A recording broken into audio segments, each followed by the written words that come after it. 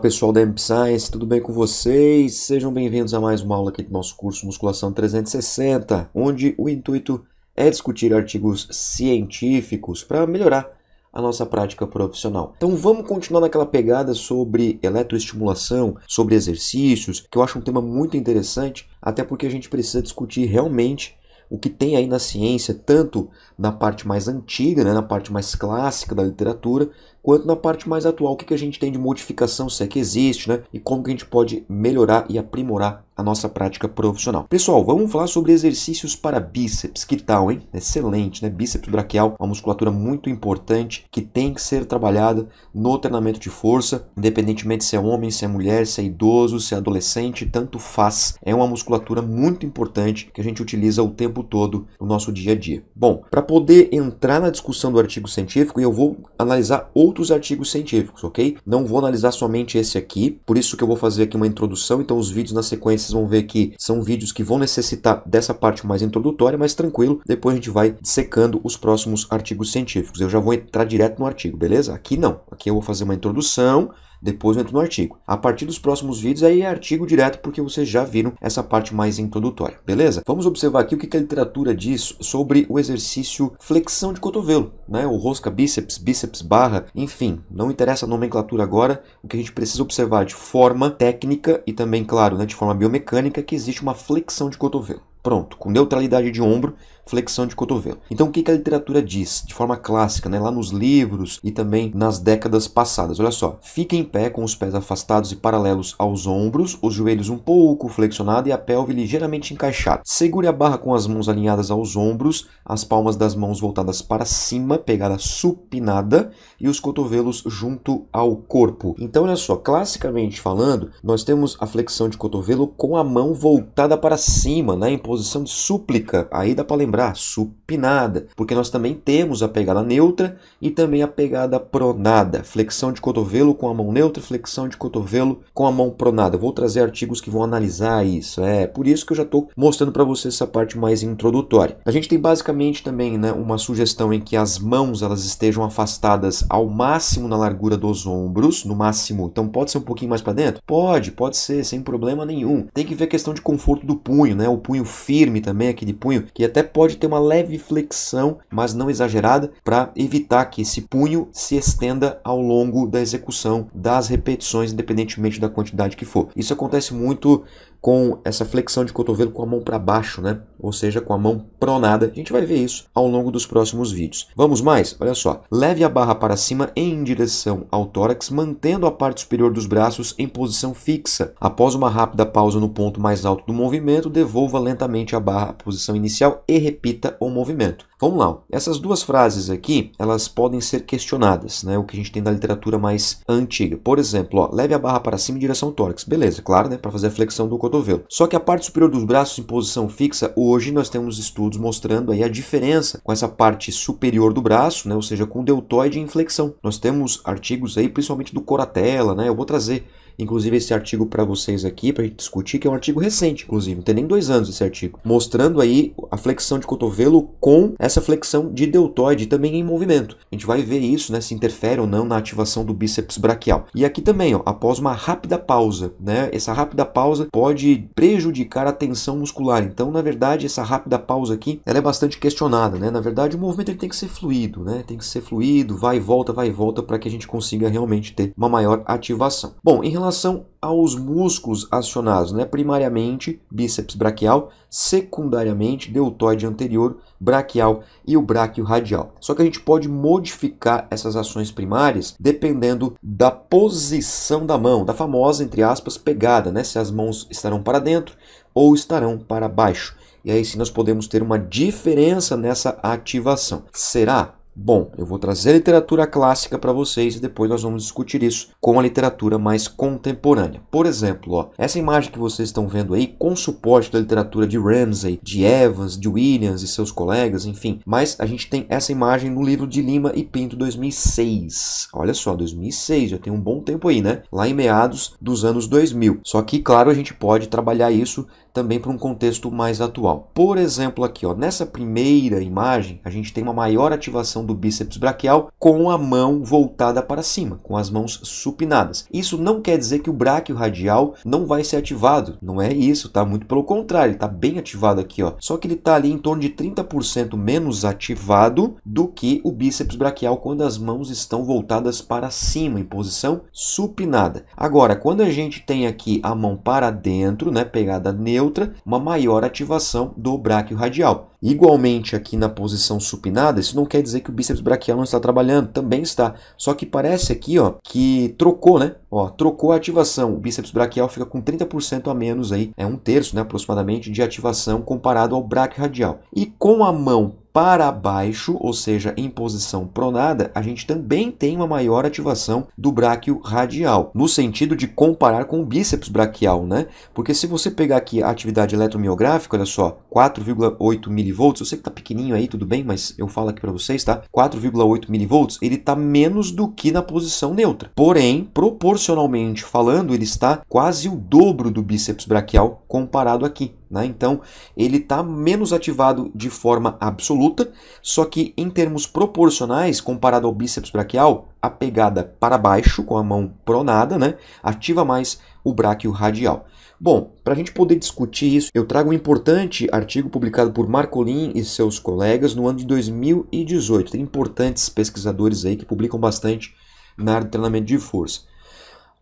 Vamos ver essa questão das diferenças eletromiográficas na atividade de bíceps braquial e braquioradial em três variações, ó, em três variações de bíceps, de três exercícios distintos. Bem interessante esse artigo, tenho certeza que você vai gostar. Participaram do estudo 12 homens treinados há pelo menos 3 anos, que treinavam no mínimo 3 vezes por semana, com experiência nos exercícios avaliados. Né? Isso é muito importante, tá, pessoal? Porque não adianta você ter experiência em fazer um determinado exercício e no outro não. Então, pode ser um viés, por exemplo. Né? Se o indivíduo está acostumado sempre a fazer bíceps com barra, bíceps com halter, quando ele vai fazer um bíceps polia, isso pode prejudicar a análise, porque não está acostumado a fazer aquele exercício, né? que é a questão do princípio da variabilidade.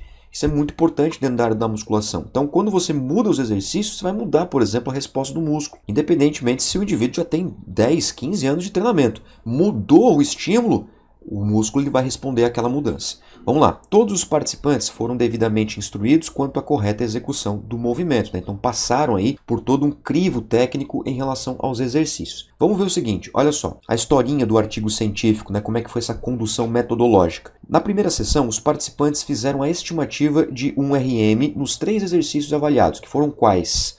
Bíceps com halteres, bíceps barra reta e bíceps barra EZ, também chamado bíceps barra W, né? Depende aí da configuração da barra que você tem disponível para treinar seus alunos. Eles descansaram durante uma semana e aí foram fazer o quê? Os processos de avaliação da estimulação dos músculos bíceps braquial e braquioradial nos diferentes exercícios. Fizeram um aquecimento com halteres, 12 repetições a 40% dessa estimativa que foi feita uma semana antes, descansaram 4 minutos, fizeram aqui o bíceps barra com 10 repetições a 65% de um RM, bem próximo do que a gente usa na prática, né? Em alguns momentos a gente usa aí 10 repetições com 65% de um RM. Descansaram 4 minutos, fizeram a barra EZ, também 10 repetições a 65% de um RM, descansaram mais 4 minutos e fizeram bíceps com halteres. Aqui eles colocaram nessa ordem, mas nem todos os participantes fizeram nessa ordem. Eles foram sorteados, ou seja, teve homem que fez primeiro o halter, depois fez a barra, depois fez barra Z. Teve homem que começou com a barra reta, depois foi para halteres, depois foi para barra Z e assim por diante. Foi sorteado a execução dos três tipos de movimento, sempre com 4 minutos de descanso, para que esses praticantes pudessem se recuperar totalmente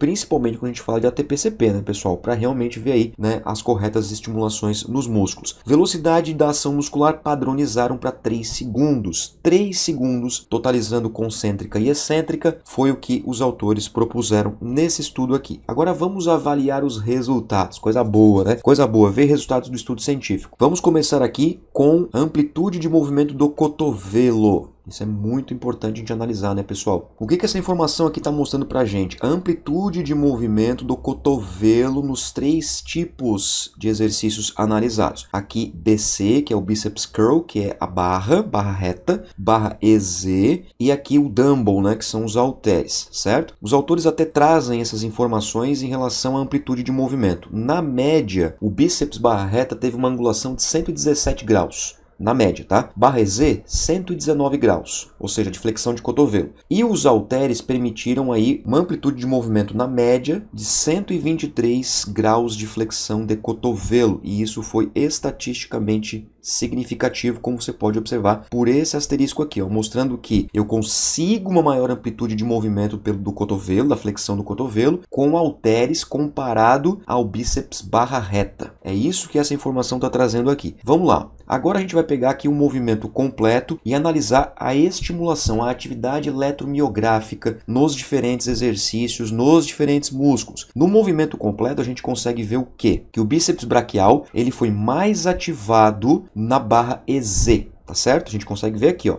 Ó, a médiazinha tá maior né, do que os outros dois. Só porque a barra EZ não foi superior à barra reta, mas foi superior aos halteres. Então a gente pode dizer aqui que, em termos estatísticos, o bíceps com halteres foi o menos ativado em termos de bíceps braquial comparado à barra EZ, tá certo? Comparado à barra EZ com a barra reta, não teve diferença estatística. Já para o bráquio radial, a gente vê que novamente a barra EZ ganha dos halteres, porém não ganha da barra reta. Então aqui a gente consegue ver o que? Movimento completo eletroestimulação, né, atividade eletromiográfica de bíceps braquial e braquioradial é barras e não halteres. Essa aqui é a conclusão que a gente pode tirar de forma mais sucinta. Isso quer dizer que o bíceps braquial e o braquioradial não foi ativado no bíceps com halteres? Não, pessoal, não é isso. Muito pelo contrário, eles foram ativados. Tá vendo aqui, ó? ó a atividade eletromiográfica está aqui, ó. Só que o bíceps com halteres foi inferior ao bíceps barra reta e barra Z, de forma estatística. Vamos ver agora na fase concêntrica do movimento. Aqui foi o movimento completo, tá? Aqui na fase concêntrica, vamos lá, olha só. Na fase concêntrica do movimento, para o bíceps braquial, não teve diferença não teve diferença. Então, na fase de subida, na fase de flexão do cotovelo propriamente dita, de fato, na fase concêntrica, bíceps braquial tanto faz. Ser barra reta, ser barra Z, ou ser halteres. Os três estimulam da mesma forma. O que pega é para o bráquio radial. Então, na hora que está acontecendo a flexão propriamente dita, ou seja, as mãos em direção ao tórax, na fase de subida, o bráquio radial ele é mais ativado no exercício bíceps barra Z, estatisticamente superior ao bíceps com halteres e o bíceps barra reta também superior ao bíceps com halteres na fase concêntrica para o bráquio radial. Então, ativação de bráquio radial também são os exercícios com barra para bíceps braquial tanto faz na fase concêntrica. Vamos ver a fase excêntrica agora, ou seja, a fase de descida do movimento, né? Na extensão do cotovelo, quando as mãos estão se afastando do peito. Olha só, bíceps braquial, barra Z de novo ganha, estatisticamente superior aos halteres, e a barra reta também é superior aos halteres. Então, também fase excêntrica, agora sim, né? Bíceps se destacando nos exercícios com barra. E para bráquio radial nós tivemos diferença apenas da barra Z para o bíceps com halteres. Barra reta também não teve grandes diferenças estatísticas assim. O que a gente pode concluir aqui então com essas imagens e também já concluindo o estudo científico, porque o próximo vídeo eu vou continuar discutindo é, ativação de bíceps e de bráquio radial com outros estudos científicos. Se você quer uma maior ativação de bíceps braquial e bráquio radial, levando em consideração o movimento completo, são as barras. Fase concêntrica bíceps braquial, tanto faz, mas para o bráquio radial, barra também. Fase excêntrica, aí nós temos diferença. Barras ganham tanto para ativação de bíceps braquial quanto para bráquio radial. Ou seja, estimulação de bíceps braquial e bráquio radial são exercícios com barra.